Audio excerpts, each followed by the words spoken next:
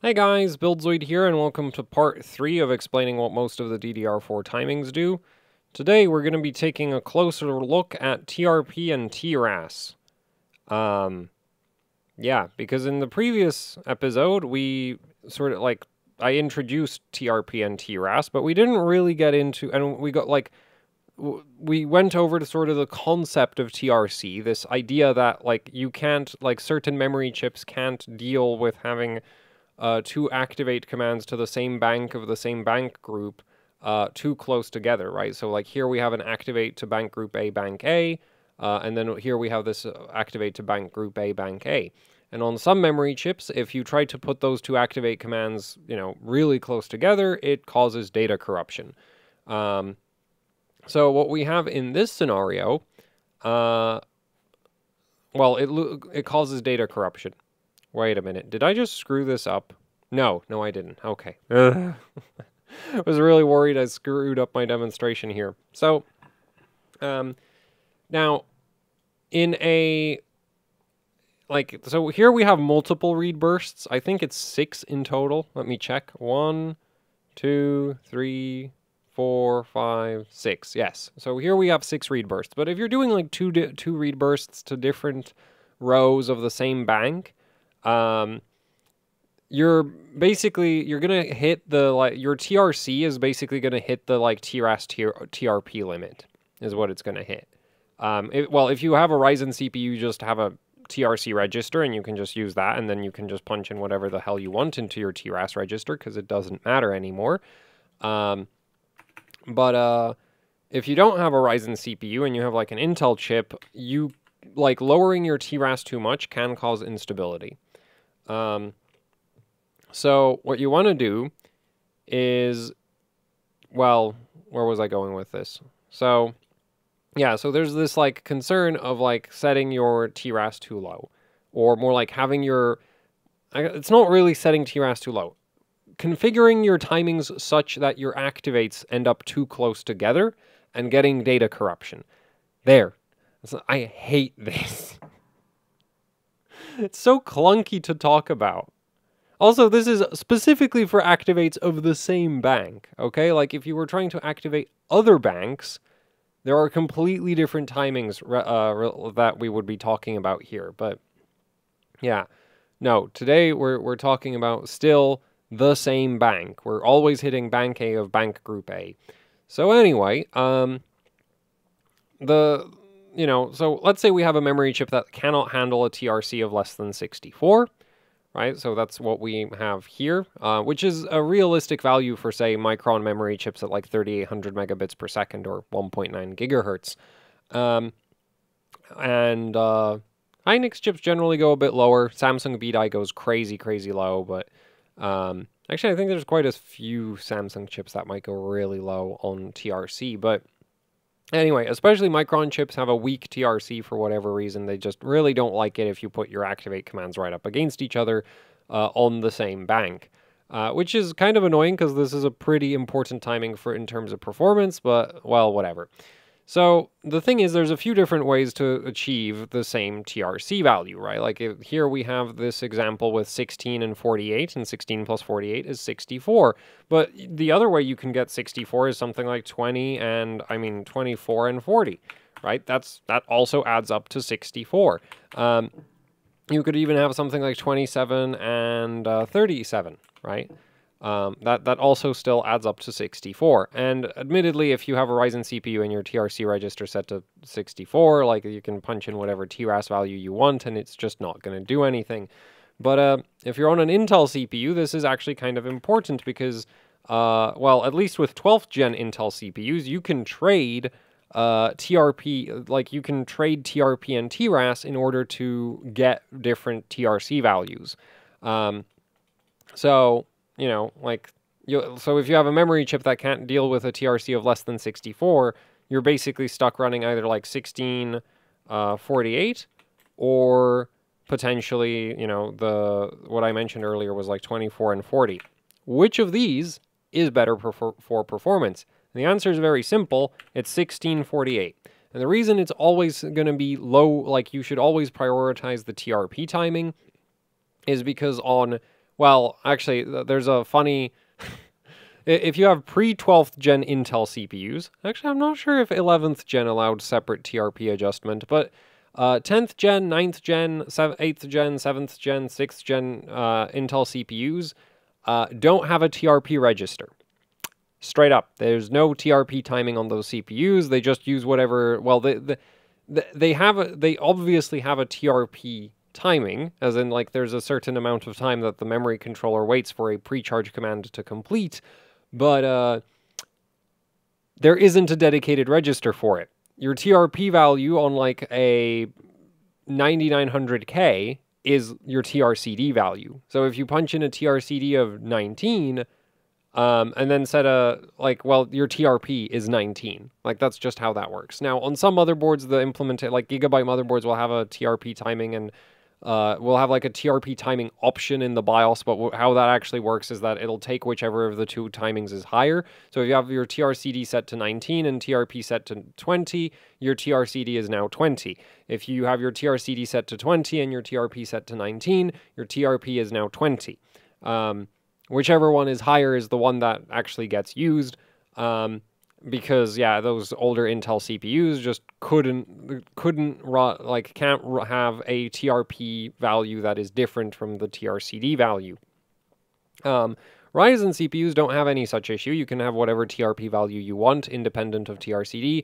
12th gen Intel CPUs work the same way. You can have whatever TRP value you want, separate from TRCD, with the exception of Gigabyte motherboards, because their BIOS hasn't implemented the, the TRP timing properly yet. I don't know. Well, yeah. Um, last I checked, that still wasn't working on Gigabyte boards. It works on MSI and Asus.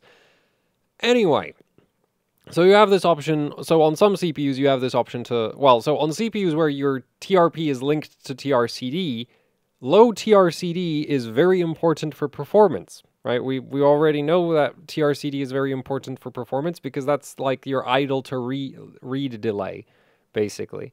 Like if you're, like that's your act to read delay. So if you, you know, well, well just TRCD is very important. It gets used a lot. Anytime you need to activate a row, the first like the delay from that activation to the next command that's trcd um, so you know you don't want to be making your tr like you don't want to be raising your trcd unless you absolutely have to so doing something like so if you had like a 9900k doing something like this would be really dumb okay that that's really dumb if you have like a 9900k 10900k that kind of thing um, if you have one of those CPUs, what you'd want to probably do, it, well, what you'd do, assuming you had a memory chip that doesn't do less than TRCD less than 19, is you would punch in something like this, and your TRAS would be 47. Um, is that right? No, that's not right. It would be 45, right? And this is the configuration you would want to use. Uh, if you're on Ryzen, then of course we're going to go all the way down to like 1648. And now, why do we want that really low TRP? And the answer for this is that the TRAS timing is extremely specific as to when it actually is relevant. And in the one scenario where it's relevant, this trade off between TRP and TRAS doesn't make a difference, right? Because the only time we really care about TRAS is if we need to, like, if, if we're doing the, you know, this scenario, which we covered in part two, where we're doing a read from one row and then immediately doing another read, but from a different row of the same bank.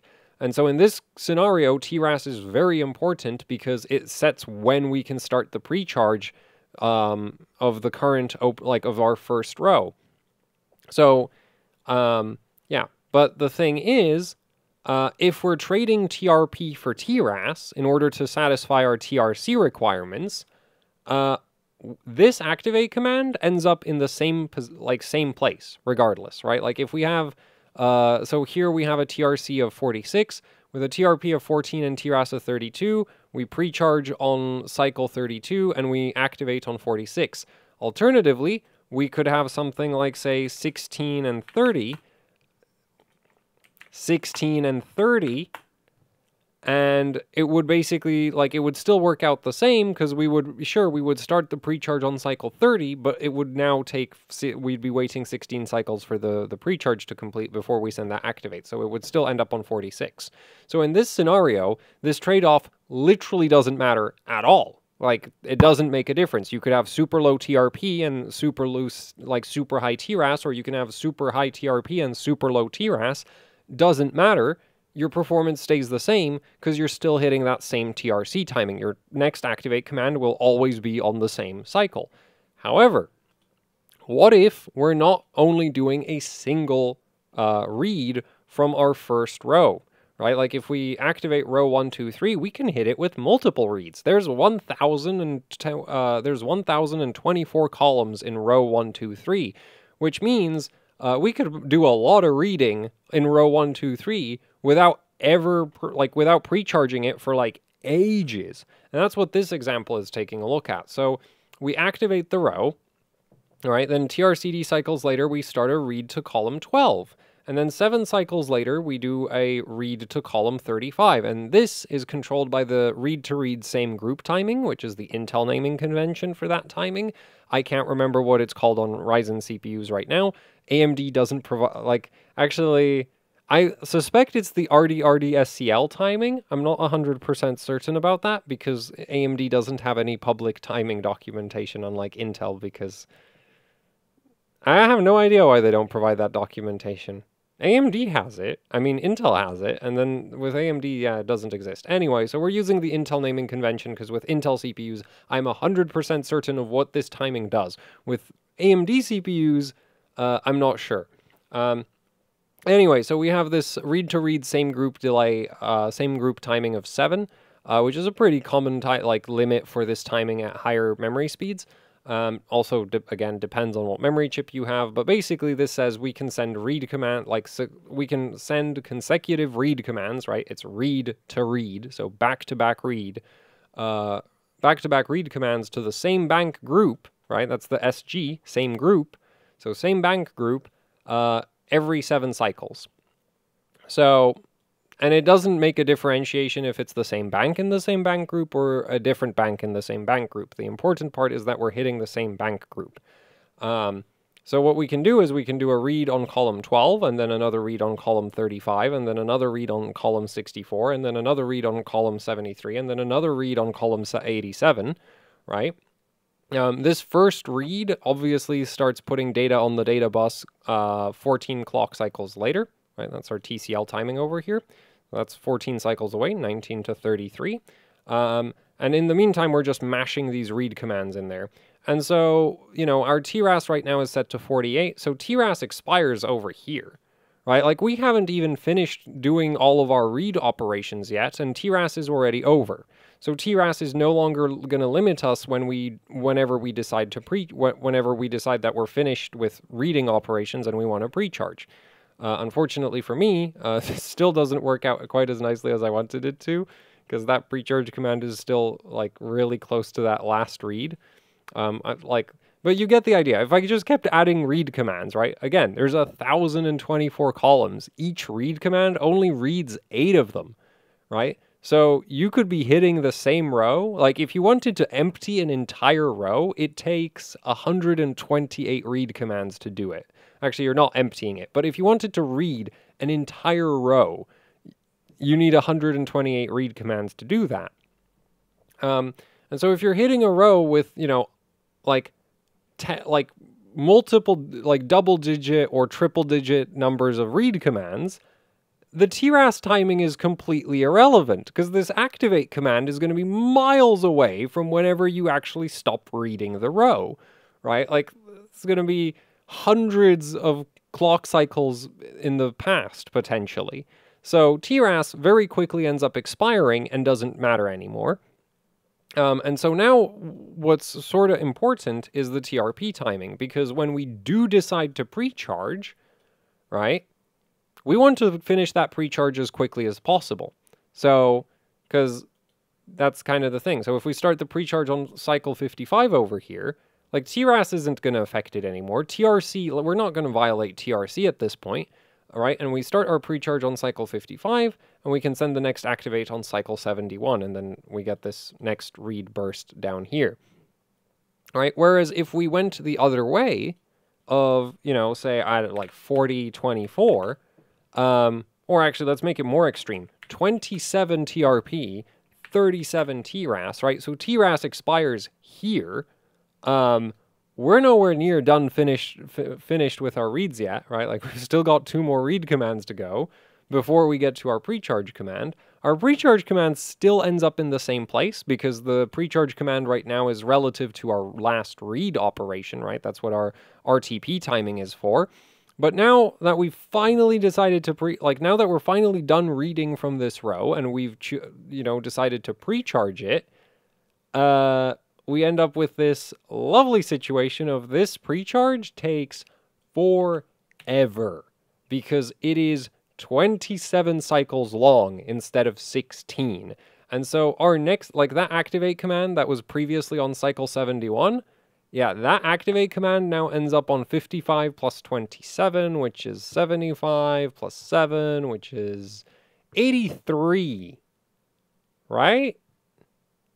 No, 82. Um, so it ends up here. Yes. Um, yeah, it ends up over here. Which, uh, not ideal, as you can probably tell. Like, we've literally just added 11 more clock cycles between uh, our last read operation and like last read operation in the first row and our first read operation well all of our future operations in the next row right? So we, we now take 113 clock cycles to complete this instead of uh, 112 literally it's plus plus 11 right? So yeah that's that's why you want like so if you're in a situation where you're trading TRP for TRAS for stability, TRP takes priority because like as long as you're like as long as TRP plus TRAS is the same thing, um you're not actually going to improve the, you know, the TRAS like the TRC limited scenario. Um and you're going to be hurt. And if you're boot, like raising your TRP timing, you're hurting the uh, like TRP limited scenarios, right? Like a TRP limited scenario would be what we're looking at here because like we're miles away from the TRAS. We're we're never going to violate the the activate timing at this point. And so it makes zero sense to be punching in a TRP of 27.